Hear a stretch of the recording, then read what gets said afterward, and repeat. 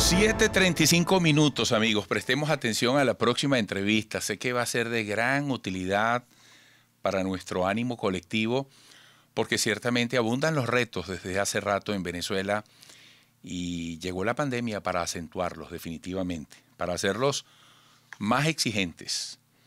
Mónica Castro, nuestra próxima entrevistada, es presidenta de la Federación de Instituciones Privadas en Atención al Niño, el Joven y la Familia.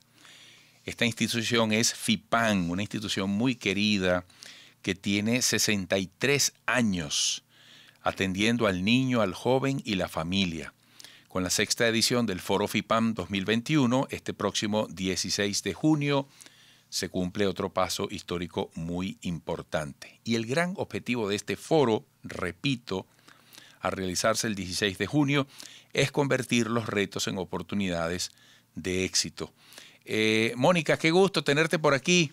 Buenos días. Gente, mm, encantada de estar contigo eh, nuevamente y, pues saludar a tu audiencia y pues muy honrada de estar en A Tiempo. Oye, ¿cómo podemos describir todo el esfuerzo de organización que ustedes han hecho para este sexto foro? ¿Habrá ponentes nacionales, internacionales? ¿Cómo será el formato?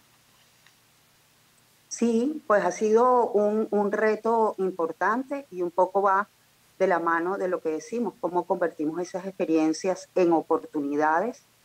Eh, el reto para nosotros este año y desde el año pasado, eh, a decir verdad, fue transformar un foro que lo hacíamos de manera presencial en un foro virtual eh, y, y la experiencia ha sido muy positiva porque el alcance ya no solamente es a nivel nacional, de, todo lo que son las organizaciones que se sumaban en, el en presencial, sino que ahora también tenemos un alcance a nivel internacional para eh, el foro FIPAN.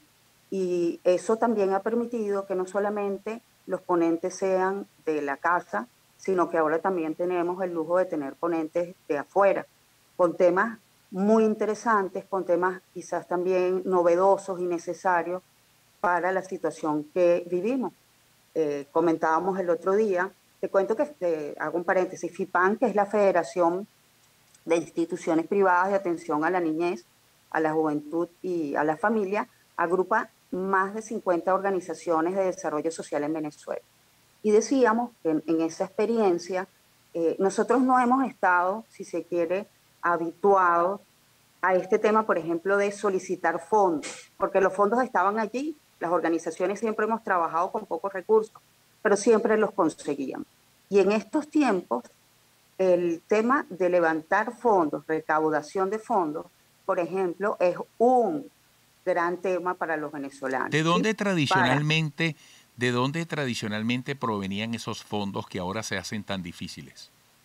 Venían de, de, la, de la empresa privada en mucho porcentaje, ¿sí? Y para la empresa en una Venezuela como más ah, próspera, era, era más fácil poder tener esa conciencia social. Venían también del Estado y de los programas que tenía el Estado. El Estado, en, desde hace también mucho tiempo, no ha podido resolver los temas sociales y han quedado de manos de estas organizaciones el poder resolver el grueso de los problemas sociales. Entonces tenemos cada vez más demanda y menos recursos. Y eso nos ha llevado un poco desde, desde hace, nosotros tenemos seis años con ese foro, la intención del foro es hacer profesionales aquellos que estamos en las organizaciones de desarrollo social, darle las herramientas necesarias, porque muchos entramos aquí como voluntarios, con buenas intenciones, con profesiones que tienen que ver del ámbito de la salud, pero necesitamos formarnos en todo lo que tiene que ver con la gerencia, que está ligada a eh, temas sociales. Y eso ha sido un poco el espíritu del foro en estos años. ¿Cómo entonces alcanzar esos fondos que ahora se hacen más difíciles por la situación del país? ¿Cómo hace FIPAN como paraguas de más de 50 organizaciones de desarrollo social para no detenerse, no paralizarse?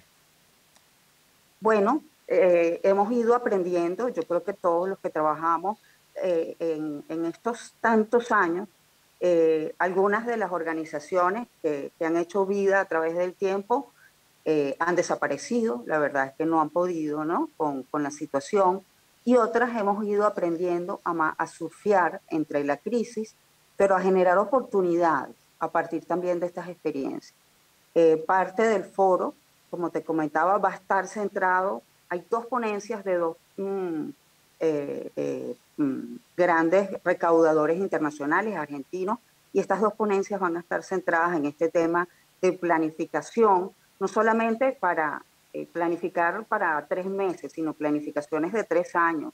O sea, planificar esa recaudación y cómo generar esa recaudación y ser eficientes.